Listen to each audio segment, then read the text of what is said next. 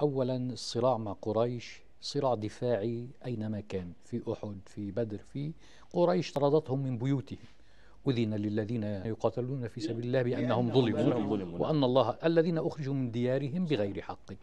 فهؤلاء أخرجوا من ديارهم. يعني الآن القتال مع إسرائيل في أي موقع؟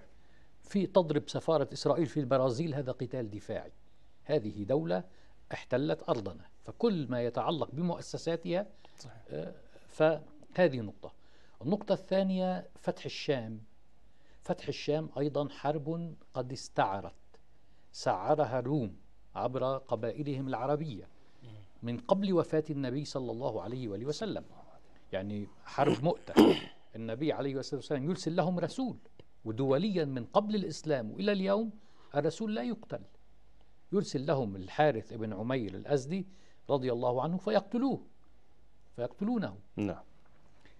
غزوة تبوك كانوا الروم يحشدون للهجوم على المسلمين فلاقاهم إلى تبوك ووقعت حرب أساسا. نعم. فإذا بين الكيان الإسلامي وبين الروم حرب مفتوحة.